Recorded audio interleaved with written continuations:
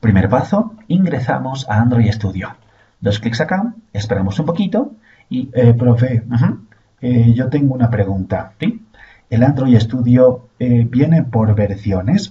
Checa. En este caso, yo tengo Android Studio en su versión 3.6.3. Eh, profe, yo tengo la versión 3.4 creo, o 3.5. ¿Es igualmente funciona?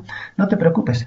Observa, la versión más estable de Android Studio, bueno, desde esta versión es la más estable.